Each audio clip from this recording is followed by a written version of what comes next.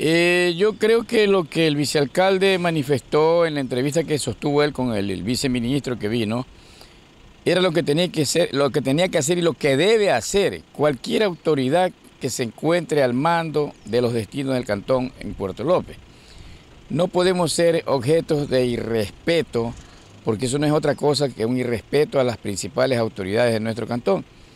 Desgraciadamente, pues, Aquí han estado mal enseñados a hacer obras que, porque son de gobierno, que nosotros no tenemos nada que hacer, que no tenemos nada que ver.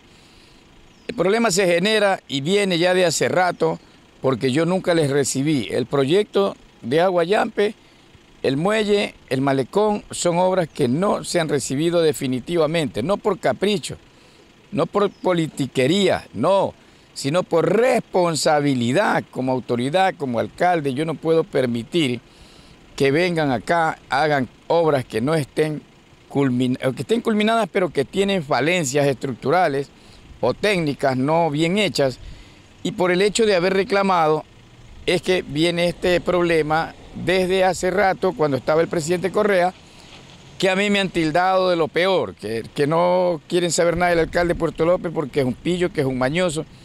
Hermanos puertolopenses, si yo fuera lo que mucha gente, por desgracia, también, y me da pena, de aquí de Puerto López hay mucha gente que también repiten lo mismo, que yo soy un mañoso, que yo soy un ladrón. ¿Qué corona tengo yo para andar libre? Ya me hubieran metido preso hace rato. Lo único, el único defecto, lo único malo, el mal que yo les he hecho a ellos, es haber roto el silencio de los sumisos.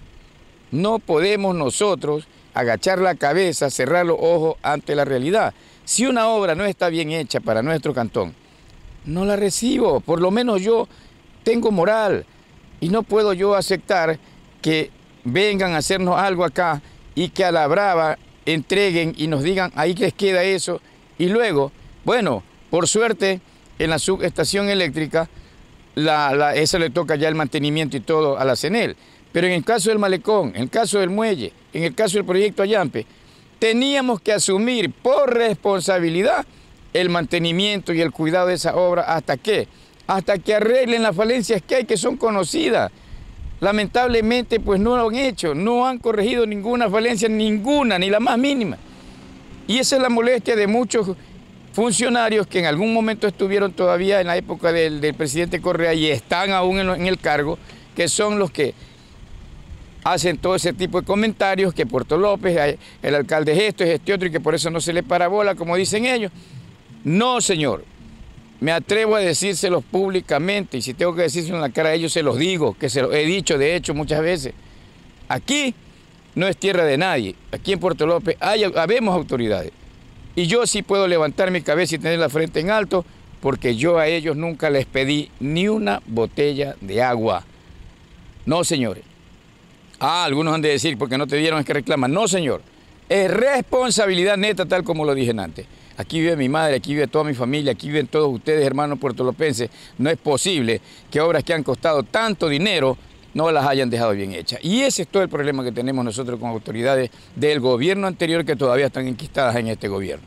Pero aparte de esta subestación hay problemas también en varios sectores, por ejemplo, poste mal estado. Es que justamente, justamente el reclamo era ese, que se iba a manifestar que han hecho la subestación. Perfecto, puede estar en perfectas condiciones, bien diseñada, bien hecha, muy bien.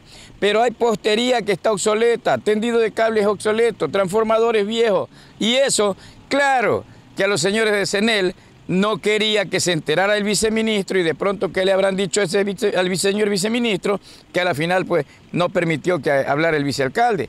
Pero las autoridades como de ese, de ese de esa categoría, yo no sé cómo pueden ellos venir acá o a Manaví y dejarse llevar de funcionarios. ¿Por qué no dejaron hablar al vicealcalde que él iba a decir lo que yo acabo de mencionar? Y eso lo sabe todo Puerto López. Hay postes que están por ahí ya parados por milagro de Dios.